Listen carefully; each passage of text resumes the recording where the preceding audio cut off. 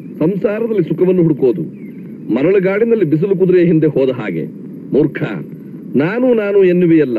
ಹೆಂಡತಿ ಮಕ್ಕಳು ನಿನ್ನವರಲ್ಲ. ನಿನ್ನವರು ಇಲ್ಲಿ ಯಾರೂ ಇಲ್ಲ. ಈ ನಿಜ ತಿಳಿದರೆ ದುಃಖವೇ ಇಲ್ಲ. ಸಾಕ್ ನಿಲ್ಸ್ರಿ. ಎಲ್ಲದಕ್ಕೂ ಪುಸ್ತಕ ಪುಸ್ತಕ ಪುಸ್ತಕ.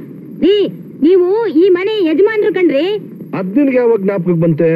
ಎಲ್ಲದಕ್ಕೂ ಹಾಸ್ಯ ಮಾಡ್ಬೇಡಿ. ಒಂದ್ ಹೆಣ್ಣಿನ ಮಾನ ಹೋಗ್ತಾ ಇದ್ರು ಸಂಬಂಧ ಇಲ್ಲದೆ ಇರೋರ್ ಹಾಗೆ ಕೂತಿದ್ದೀರಾ? ಯಾವ ಹೆಣ್ಣೆ? ರೀ ನಾನು ಒಂದು ಹೆಣ್ಣಲ್ವೇನು? ಮರ್ತೆ ಹೋಗ್ಬಿಟ್ಟಿದ್ದೆ.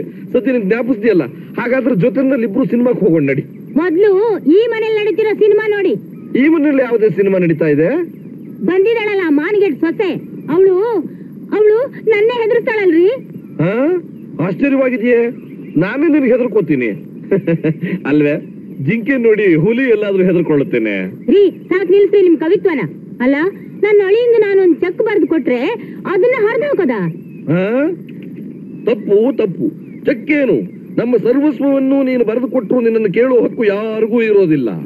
ತಲಾಗೊಂದೊಂದು ಚಮೆ ಹಿಡ್ಕೊಂಡು ಭವತಿ ಭಿಕ್ಷಾಂ ದೇಹಿ ಅಂತ ಹೋದ್ರಾಯ್ತು. ಅಲ್ಲ ಆ ಕೃಷ್ಣ ಪರಮಾತ್ಮ ನಿನ್ನ ಕೆಲಸಕ್ಕೆ ಚಕ್ರನ ಯಾಕೆ ಅಡ್ಡ ಬಿಟ್ಟ?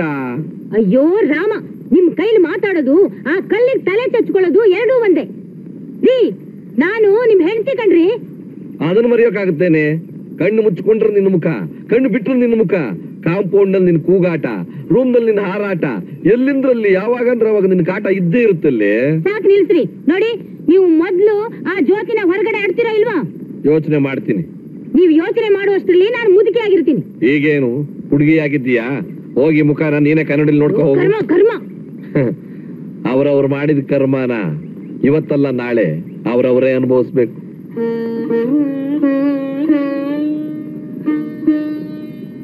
ಏನ್ ನಿನ್ನ ಹತ್ರ ಸ್ವಲ್ಪ ಮಾತಾಡ್ಬೇಕಾಗಿತ್ತಮ್ಮ.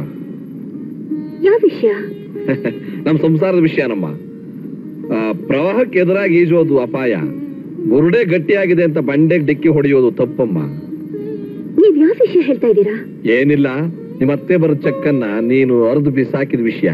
ನಿಮ್ಮ ಅಳಿಯ ತುಂಬಾ ಮೋಸ ಮಾಡ್ತಿದ್ದಾರೆ.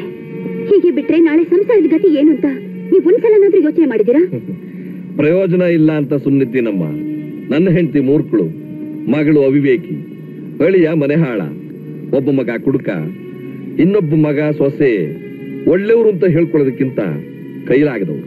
ಇಂಥವ್ರ ಮಧ್ಯೆ ಪಾಪ ಅವನು ಏನ್ ಮಾಡ್ತಾನೆ? ಹಾಗಂತ?